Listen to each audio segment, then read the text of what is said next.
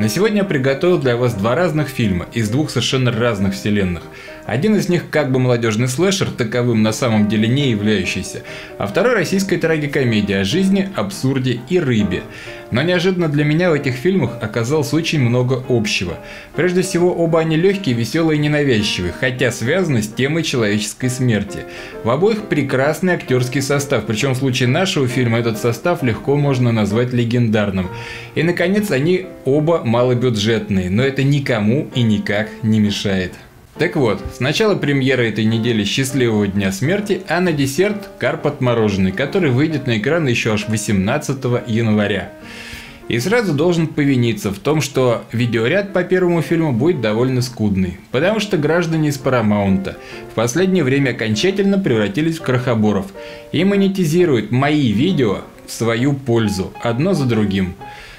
Кормить каких-то неизвестных мне акул капитализма у меня нет ни малейшего желания, поэтому, к сожалению, придется обойтись картинками да моим лицом. Приступим.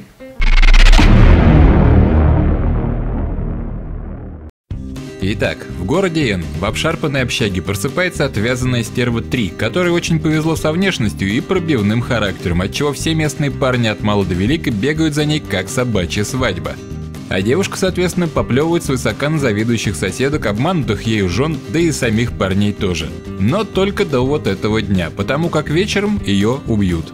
И день повторится снова. И снова. И что бы она ни делала, все дороги ведут к маньяку в дурацкой маске, который приканчивает ее все новыми способами, не гнушаясь ни ножа, ни пистолета, ни разбитой бутылки, ни даже сбитого полицейского и подорванной машины.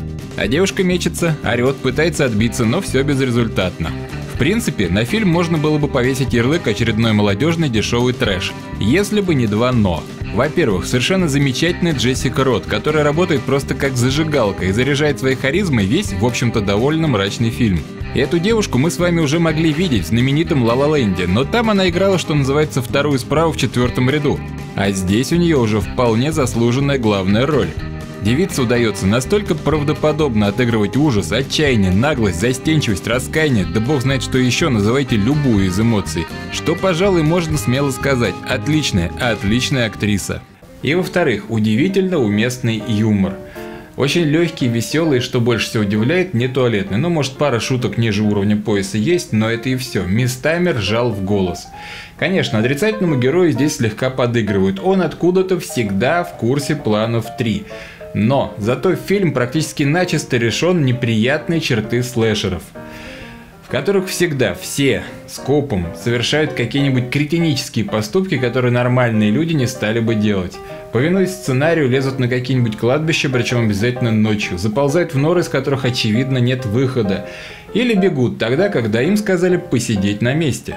Как же было приятно посмотреть фильм, где шаблон этот намотали на рулончик и повесили в туалет.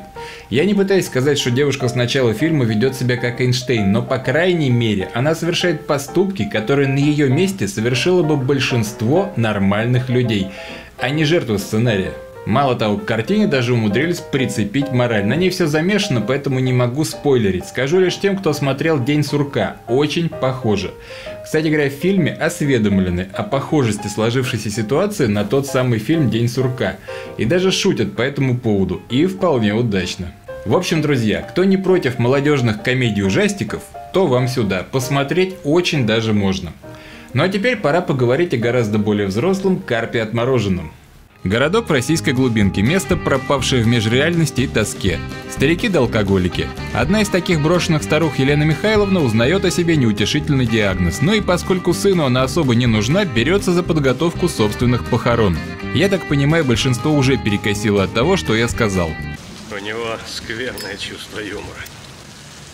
И каждое слово как приговор. Опять чернуха. Спокойно, ребята и девчата, это фильм совсем не о ней. Достаточно было того, чтобы в жизни Елены Михайловны появился обыкновенный карп, обладающий способностью воскресать, что бы там с ним до этого не делали. Карп этот, как сказочный элемент, запросто ломает привычный уклад картины и превращает ее в комедию о нашем, сейчас будет сложно, экзистенциальном бытии, в котором живой человек приходит в морг за справкой о своей смерти, а на собственной могилке собирает червячков для того самого карпа. Это один из самых загадочных, юморных и одновременно пронзительных российских фильмов, что я видел за последние годы. Не получив финансовой поддержки в Министерстве культуры и Фонде кино, продюсер Никита Владимиров заложил свою квартиру, чтобы начать съемки, а актеры согласились на снижение ставок. Так что государству тут никто ничего не должен. Оттого, наверное, и получилось снять вот такой оригинальный проект. Плюсом к задумке идет отличный актерский состав. Марина Неелова, Евгений Миронов, Александр Баширов и согласившаяся на эту картину только из-за нетипичности ее роли потрясающая Алиса Фрейндлих. Ты мечтала о таком? Алиса Бруновна здесь заслуживает особого внимания. Как она говорит, снялась только потому, что не помнит, когда играла в чем-то подобном. Деревенская бабка живчик, разбитная и малограмотная, не гнушающаяся сильного словца и даже беленькой. Такой мы ее еще не видали. И все это уморительно смешно и необычно, ребята. Вообще, так сыграть 80 лет – это что-то с чем-то. Поклон великой артистке. Это притча, философия, упакованная в шутейный пакетик – фильм о хэштегах, погоне за счастьем и вариативности бытия. Я могу еще долго петь ему дифирамбу, но вы у меня умные, уже все сами поняли. Для достижения равновесия скажу свое единственное в картине. Мне категорически не понравился финал. Хотелось чего-нибудь гораздо более конкретного и жизнеутверждающего, что ли, чем открытый финал, который нам дали. Герои, да и мы зрители, этого заслужили. Так что, на мой взгляд, картину ждет не очень хорошее будущее на экранах в прокате, зато на телеэкранах, я думаю, у нее все сложится хорошо. На сегодня это все. Это Майкл. Я не прощаюсь. Вот живучая зараза.